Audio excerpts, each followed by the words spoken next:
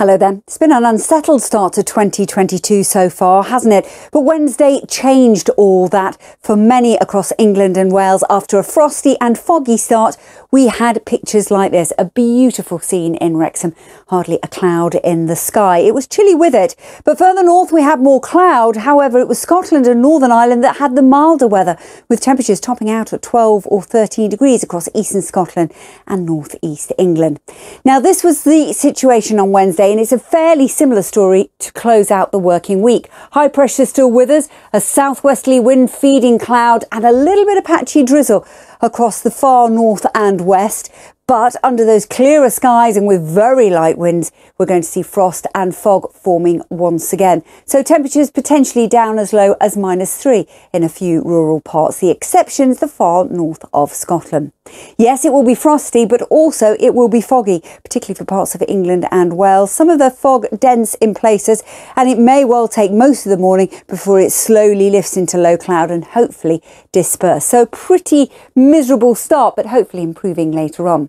The cloud with that southwesterly breeze again thick enough for a spot or two of drizzle, but we could see double figures across the far north of Scotland despite the winds gusting in excess of 40 to 50 miles an hour across the Northern Isles. So a blustery afternoon here, light winds not shifting that fog sometime soon. So temperatures will struggle just a touch, 6 to 8 degrees across England and Wales.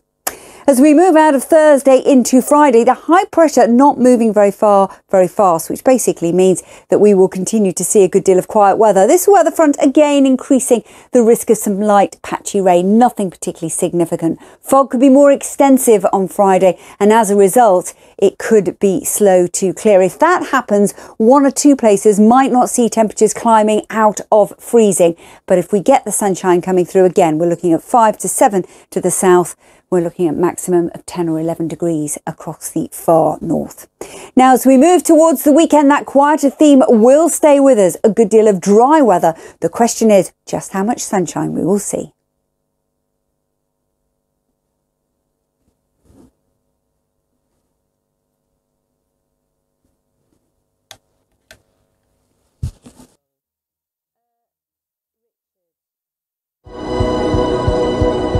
There are water worlds that are so remote that even today, few people have ever seen them. The Green Planet continues Sunday at 7 on BBC One and iPlayer. His paintings are so successful at telling us what he felt. He was an artist compelled to capture nature his name became synonymous with the art movement Surrealism. He was an outsider, a true original. Four artists, seen through 60 years of archive material. Art on the BBC continues Monday at 9 on BBC 4 and iPlayer. During the pandemic, thousands of dogs were stolen across the UK and Ireland. This is the story of Molly, one of those stolen dogs, and the fight to bring her home. We expose the devastation caused by dog thefts and investigate how this booming illegal trade has links to organized crime. Unveiling dog smugglers, puppy farms and illegal online sales. Bring Molly home. Watch on iPlayer. Is the world of opera changing? We had to start more with using technology and using streaming, for instance. Find out about its growing global appeal from the biggest names in opera today and two of the superstars of the future. Take Me to the Opera with Zainab Badawi. Watch on iPlayer.